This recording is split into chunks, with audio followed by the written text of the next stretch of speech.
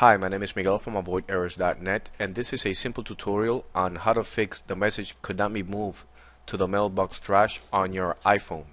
Now, usually you receive this message once you configure your IMAP or email account.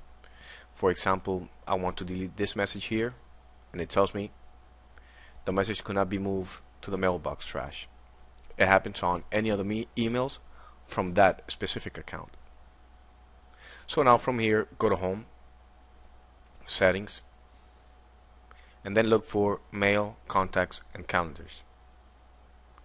Go there and now select the account that is giving you that issue.